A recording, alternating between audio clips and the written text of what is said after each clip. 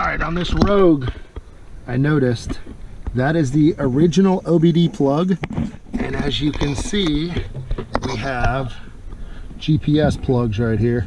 Sometimes these will cause issues with communication. So just make sure if you ever try to plug into the OBD and it pushes up out of the way where it should be by factory specs or anything looks out of the norm, make sure you're unplugging this aftermarket stuff before you start programming.